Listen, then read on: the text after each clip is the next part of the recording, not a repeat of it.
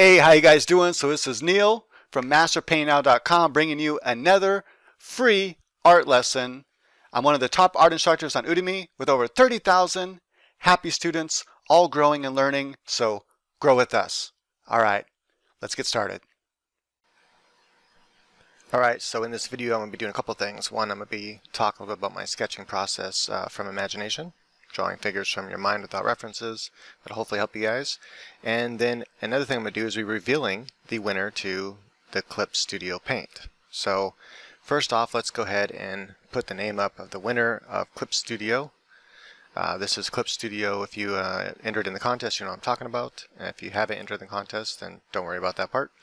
And if uh, the person doesn't claim their prize within, uh, you know, 24 hours or so, then I'm going to go ahead and just pick somebody uh, randomly and uh, send them a message and let them know uh, that, they, and then I'll just keep doing that until someone actually responds.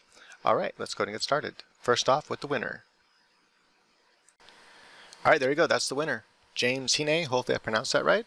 So go ahead and message me on the Master Painting Now Facebook page. The link is in the description to claim your prize. You got about 24 hours, so yeah, so the first thing I did is I did an initial sketch from my imagination, which looked a little bit rough, they always do. And then I went ahead and uh, fixed up a little bit and got the comic figure. And then I decided, you know what, I'm going to go ahead and turn that turn that pose into a more realistic figure. I find that when I first start, because I draw so much comic style for so many years, that I find that when I just draw from imagination, that's like my default where my brain wants to go. Now here I'm just I was showing you like the basic shape that I used for that pose. But then I'm showing how, uh, like in my mind, I'm like, you know what, why draw the same pose again? Um, I was going to show a different way to draw it, but I was like, why not just use that same uh, kind of shape that's in her torso, but turn it to a completely different pose just by, you know, kind of angling the body a different direction, you know, angling the top, and then, you know, just making the legs and arms a little different, and voila, we got a different pose. Now, this comes from a lot of um, study and not not just like study from drawing from life. Yeah, drawing from life helps. Drawing from photos helps. Drawing from your favorite artist helps.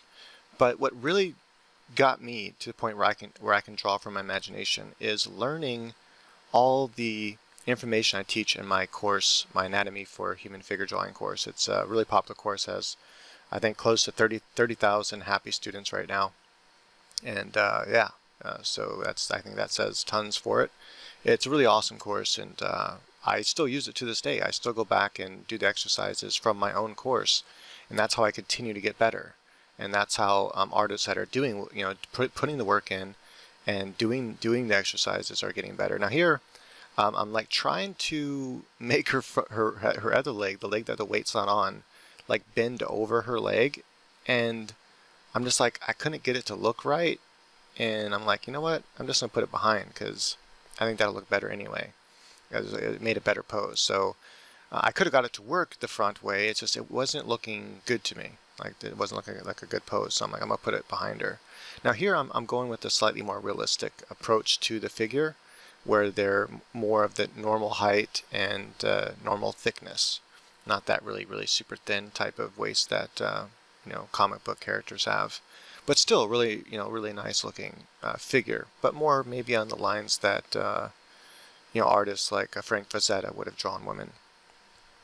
I'm just trying to get my mind used to drawing women that way. Here, this definitely comes out more um, like a comic character style, but uh, nonetheless, it still looks good. And I, I kind of like this pose. I think I want to use this for one of my uh, thing. And here's I've been practicing a lot of sketching uh, females out of my imagination is for my uh, collection I've been working on, which is a nude female collection of symbolism. If you haven't seen none of those uh, paintings, uh, definitely uh, stay tuned to the end of this video. I'll share a couple of them that I've been working on and uh, some new ones that I just finished. Uh, one, one, I just recently did a Bob Ross thing. Uh, if you guys are interested in that, I'm going to be doing a video, I think, on that. Um, like how to use, it's called PaintStorm. It's only $20. It's excellent software. It's got a robust paintbrush system that acts like natural paints. Um, one of the best so far. I'm, going to try um, Painter again to see if it's better than Painter, but so far, from what I remember Painter being, I think it might be even better than that. So, and I just came up with some brushes to do a quick Bob Ross type landscape painting. And then I, of course, had to draw a nude figure in there. Uh, she's pretty small in the painting, but it's still cool. I'll show you that. I'll show you guys that one. Uh, the only part I was disappointed with is the clouds. I think I can make a cloud brush that you know works much better and faster. Um, debating whether or not it should just be like more like a cloud stamp that you just kind of fix up real fast, or an actual cloud brush like one I used, but it just didn't quite, you know, like a kind of scatter brush. It just didn't quite work the way I wanted it to. I think it just needs a different um, texture for it, and that kind of simulates the kind of soft circles you do with a real brush to um, make clouds in the Bob Ross style, or in just a kind of impressionistic style, just to uh, imply that they are they are shadows. I don't know why I did that there. Um, uh, it's a common mistake people make is I just did with the hand there. I drew the palm coming right off the pinky. Uh, it's obviously not how it goes. The fingers hang below your palm. I don't know. I have no idea why I did that. Um, but then I was like, wait a minute, why did I do that? And I fixed it, obviously some of the hardest things for people to do for imagination is this right here, like how to do the shading. And I do have, um, you know, course on that, and that's the uh, Discover How to Draw and Paint Comics course. Now, it's not just for comics. It, the beginning of the course has the fundamentals to draw anything. But I decided to redo a course on that because I realized that that's pretty old, and I have a lot of better information to teach now. And uh, that, I actually didn't get to record that one there. Um, came out pretty cool, the Supergirl type pose, uh, or Power Girl, whoever's flying anyway, so stay tuned for that. Um, that course I've been working on it hard. It's coming out soon, and it's basically the fundamentals to draw anything and and paint anything. It's literally the fundamentals you need to draw or paint anything, whether it's from imagination or from reference. So you absolutely need that. That'll be coming out soon. Stay tuned for that. If you're not already a student on Udemy, then if you want to be notified of that, just you know subscribe here to this channel, or or also I recommend subscribing to my Master Painting Now uh, Facebook page. I have that linked in the description. And also I pin my post at the top. So just look at the top post I pin and that's also links to it. I recommend going there and signing up because Facebook is better at notifying you when I come out with new stuff and have have stuff to say about my about my uh, you know my my free videos here. Yeah, so if you've enjoyed this, please go ahead and share with others. I'm sure they would enjoy it as well.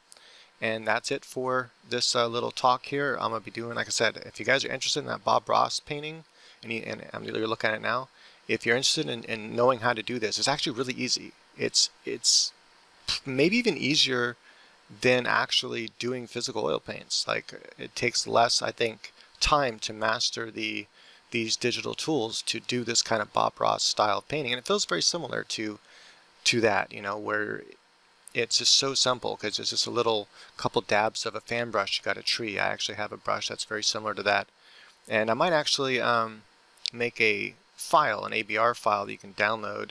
Uh, that way you can have all the brushes that uh, I'm working on for painting like Bob Ross. And I just like that way of painting backgrounds. It's just so much faster and easier. Um, and it looks really good. So you guys can be the judge of that for yourself. The only thing I want, I think I want to change is the clouds. I want to, I want to have another way to do clouds that just look a little bit better than that brush. I mean, it, it works really fast. I did those clouds so fast, like literally like two minutes or something or less.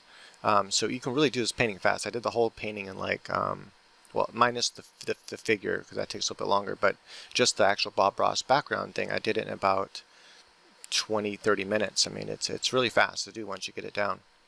So yeah, if you guys want to learn how to paint like Bob Ross with Painter or PaintStorm, let me know. I might also teach how to do it in, in Painter as well if, if Painter turns out to be good at all. Um, Paintstorm's awesome though for doing this kind of. It's, it's just great anyway for painting. But uh, yeah, uh, once you get used to the brushes, and it's really good for getting that you know more painterly look. Uh, the brushes are really good at that. You can also get the that really nice fine detail digital look too if you want that. But uh, I like the painterly look better.